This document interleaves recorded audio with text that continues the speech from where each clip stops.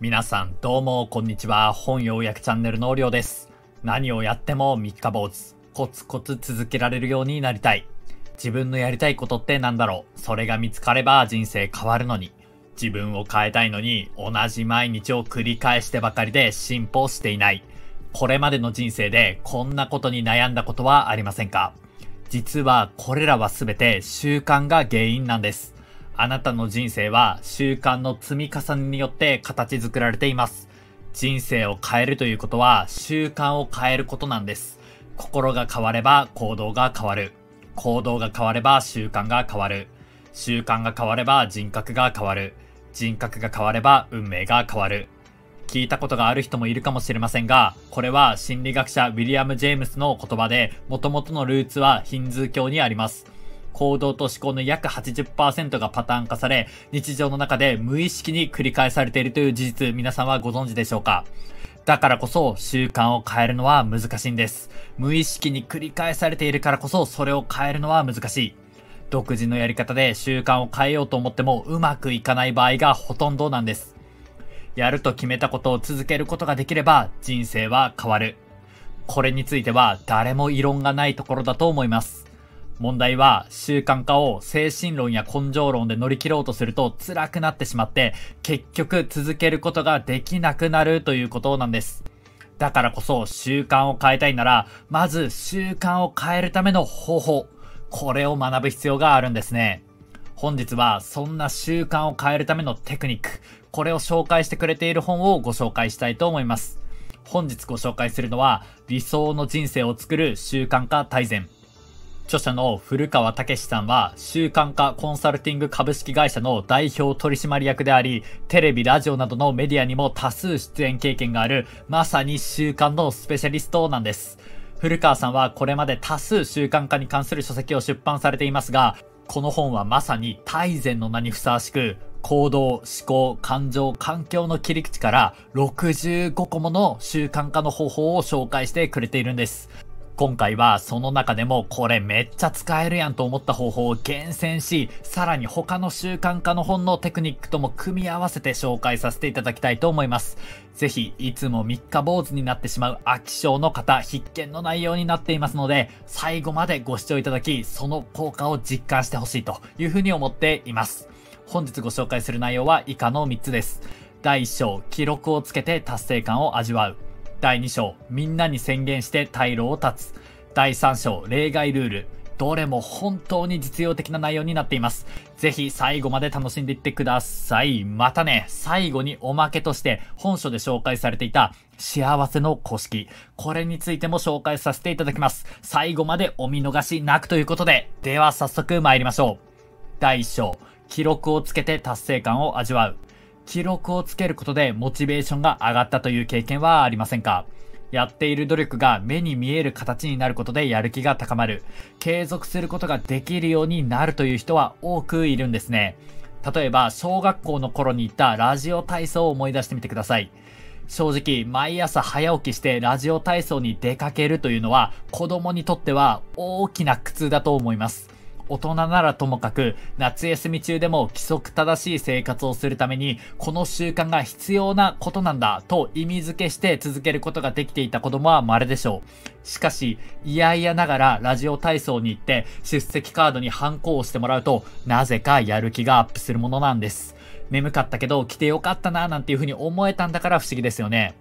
空欄にならないようにハンコをもらうという達成感がモチベーションにつながっていたんです。もちろん解禁賞ならたくさんのお菓子がもらえるよなんていうご褒美もあったかもしれません。ご褒美もモチベーションアップには役立つんですが、何よりも今日ができた、今日もやることができたというハンコを積み重ねることで、やる気が上がっていくということが研究によって分かっているんですね。人間は目に見えて連続しているものが途切れると気持ち悪く感じてしまう生き物です。スケジュール帳などで毎日丸を書き続けることによって途中でやめたくなる気持ちをぐっとこらえることができます。私がおすすめするのは、チェーンテクニックと呼ばれる習慣を行ったらカレンダーの日付に×印をつけるという方法です。この方法を用いる時の注意点としては、×印を大きく書いて、翌日の×印と前日の×印を繋がるように書くということなんですね。この書き方をすることで、一本のチェーンが伸びていくように×印が続いていくんです。このように続いているものを続けたい、続かないと気持ち悪くなるという心理法則を利用して習慣を継続していきましょう。また、努力を数値化、定量化するとさらにやる気が上がるという人もいるんです。万歩計がなぜウォーキングにいいかというと、努力量が一目でわかる、数字でフィードバックされるからなんですね。数値化されると人間はもう少し頑張ろうとやる気に火がつくんです。ランニングがなかなか習慣化できない、続かないよという方は、ぜひ心拍計を買ってつけてみてほしいと思います。この心拍計をつけることによって、1キロを何分間で走ることができているか、脂肪燃焼率はどれぐらいなのかっていうことが分かって、それがやる気を支えてくれるんですね。また、最近では睡眠時間と眠りの質、これを総合評価してくれるものもあります。この睡眠スコアなるものがあると、今日は83点、昨日は50点となれば、眠りが浅い時間が多いから、寝酒をやめようとか、運動してから寝ようとか、30分早く寝て睡眠量を増やそうという改善アイデアと意欲が湧いてくるんです。ただ闇雲に睡眠時間を増やしても意味がないんですね。そうするとやめたくなってしまうわけです。この睡眠スコアがあることで、より高い点数を取ろうと努力することができるんです。このように数値化して自分の行動を評価することによって習慣化できるかどうかは大きく変わってきます。ぜひ取り入れることができるものがありましたら取り入れてみてほしいと思います。さて、ここでその他にもやる気アップツールとしておすすめなものを紹介しておきましょう。それはタイマーなんですね。特にタイマーを使ったポモドーロテクニックと呼ばれるテクニックは習慣化のみならず集中力アップに幅広く使えるテクニックですのでおすすめなんです。最近はビジネス系 YouTuber だったり勉強系 YouTuber の方がこのポモドーロテクニックを取り上げているということもあり知名度が高まってきていますが知らない方のために軽く説明しておきましょう。ポモドーロテクニックを開発したのは、フランチェスコ・シリロという一般人なんですね。しかもこの方、時間管理に悩み、集中力が足りないことを悩んでいた普通の大学生だったんです。集中力を高める方法を模索していた彼は、タイマーを使って時間を計りながら勉強することを思いつきます。これはね、誰でも思いつくことだと思うんですが、こっからがね、すごいんですね。このタイマーで時間を区切ることで、まず締め切り効果を簡易的に再現して、無理やり自分を集中モードに持っていくということを考えたんですね。最初タイマーで測った時間は10分間だったようです。その後、実験に実験を重ね何度も何度も試して、現在知られている25分間集中し、5分間休憩するというポモドーロテクニックが開発され、爆発的に世界に広まったということなんですね。この開発者本人が書かれた、どんな仕事も25分プラス5分で結果が出る、ポモドーロテクニック入門という本は、集中力がどうも続かないよという方、ぜひお手に取っていただきたい名著になっています。さて、そんなポモドーロテクニック、具体的には一つの仕事を25 25分間プラス休憩5分の30分ワンセットで区切りながら行っていくというものになります。作業の途中であっても25分でしっかりと休憩に入ることが大切です。また注意点として5分間の休憩中、この休憩なんですが、スマホをいじったりしてはいけないんです。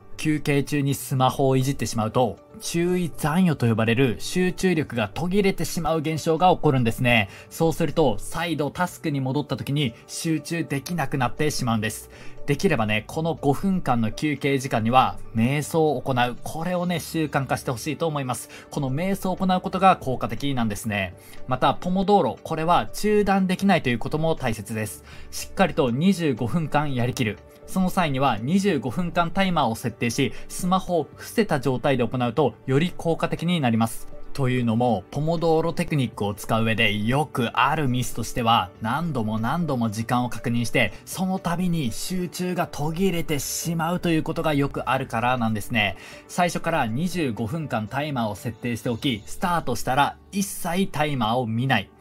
アラームが鳴った時点で休憩に入るというやり方が集中力を持続する上では最も効率がいいんです。このやり方を行うと自分がいかに集中力がないかということも分かっていきます。たった25分であっても作業を集中してやりきるというのはなかなか難しいものですぐにスマホをいじりたくなったり漫画を読みたくなったりしてしまうんです。そこをぐっとこらえて25分やり通す。このテクニックを身につけることも習慣化の一つの目標にしてほしいと思います。第2章、みんなに宣言して退路を断つ。さて、第2章では古典的なテクニックである習慣化することをみんなに宣言するということについて見ていきましょう。自分が習慣化したいことを公言することによって退路を断ってしまう。昔から多くの人が実践している習慣化のテクニックの一つではあるんですが、科学的にも効果が実証されているものになるんですね。なぜかといえば、他人との約束と自分との約束では、他人との約束の方が破りにくいということが分かっているからなんですね。当たり前のことなんですが、これが大事なんです。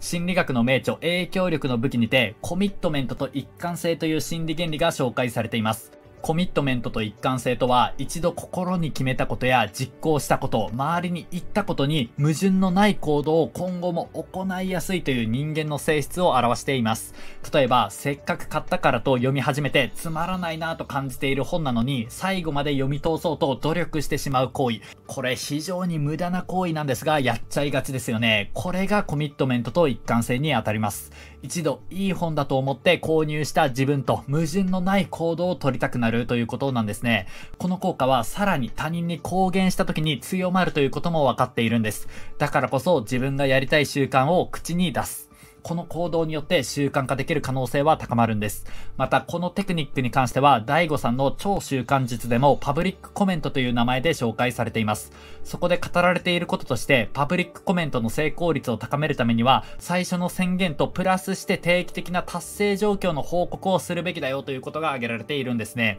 つまり、今日はこのくらい進んだとか、今週は目標達成のためにこんなことやったよということを報告するということなんです。一番いいやり方としては、お互いに努力している良きパートナーを見つけて一緒に報告し合いながら努力するというものなんですが、なかなかいいパートナーというのは見つからないのが現実でしょう。報告する相手が見つからない、そういう人も大丈夫です。今の時代、SNS があるんです。報告する相手がいない場合は、SNS を有効活用することをお勧めしています。例えば、ダイエットであれば、ツイッターで検索するだけでも、ダイエットアカウントというものがたくさん出てきますし、みんなが頑張っているツイートをどんどんどんどんしてくるので、やる気が出てくるんですね。またそこでダイエット仲間を作りつつ、先ほどのパブリックコメントを行っていくことによって、習慣化成功確率というのはぐーんと大幅に高まっていきます。また、この定期的に達成状況を報告するメリットは他にもあるんですね。それは最終目標を何度も何度も思い出すことができるということなんです。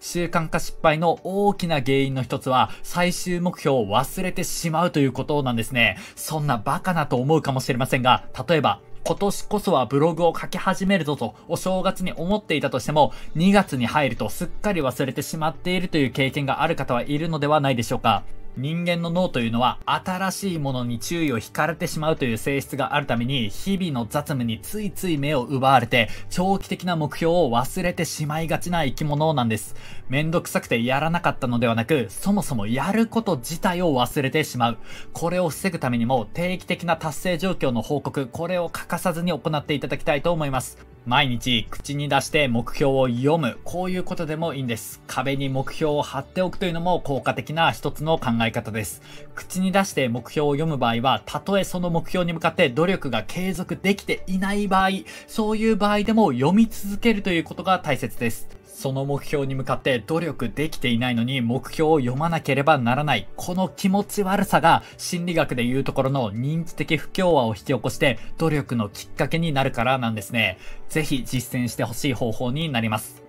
第3章、例外ルール。なぜ私たちは一つのことを続けることができないんでしょうか？結論から言うと、脳には安全を守るために新しい変化に抵抗し、現状を維持する機能があるからなんですね。これを習慣引力とか現状維持バイアスと言います。新しい習慣を始める。または現状の習慣を変えようとすることは脳にとって新しい変化なんですね。そこにいい習慣も悪い習慣もないんです。必死に変化に抵抗するために三日坊主に陥る。これは脳が体を守っているということなんですね。逆に言うなら脳はどんなことでも一定期間続けると今度はその行動を現状維持しようとするんですね。ある行動が無理なく続くのはこの現状を維持したいという段階に入っているからなんです。これこそが習慣化された状態と呼ぶことができます。この現状維持段階に入るための期間は最低でも2週間。継続するのが難しい。自分ではやりたくないような習慣の場合、最長で3ヶ月を見てほしいというふうに思います。しかし、そのね、2週間や3ヶ月間、ここを続けることが何より大変ですよね。現状維持状態に入れば楽になると分かっていても、なかなかうまくいかないのが人間というもの。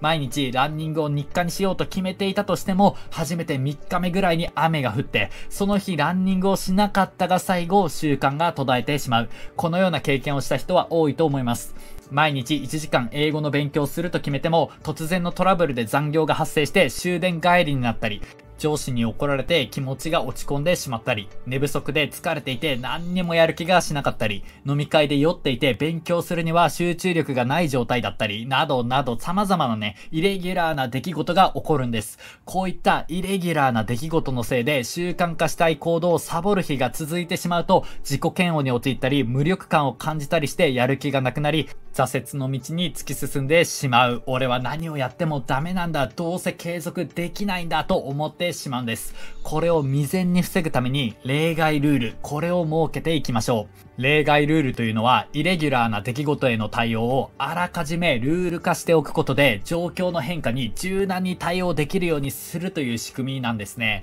例えば、気分が落ち込んでいたり、疲れたりしている時は、テキスト1ページだけ進めればいい。23時以降に帰宅する日は帰りの電車の中で単語帳を読めばいいというルールが考えられます。例外ルールは自分を甘やかすためではなく、継続への柔軟性を持たせるためのものなんですね。特に完璧主義傾向が強い人は、完璧にできなければやらなかったのと同じというふうに極端に考えてしまって、習慣が続かないことが多いので、この例外ルールが非常に有効なんです。習慣化のコツは、軌道に乗るまで行動をゼロにしないこと。ゼロにしてしまうと再始動するときにものすごくエネルギーを使います。疲れている時や予定が詰まっている時にはこの例外ルールをうまく活用してゼロにしないで今日もやることができたと思えるようにしてください。また、一日全くやれなかった日があっても大丈夫です。習慣化において大切なのは連続で休まないこと。やれなかった日の翌日はほんの少しでもいいので行動しましょう。ランニングがめんどくさかったら、スポーツウェアに着替えるだけでもいいんです。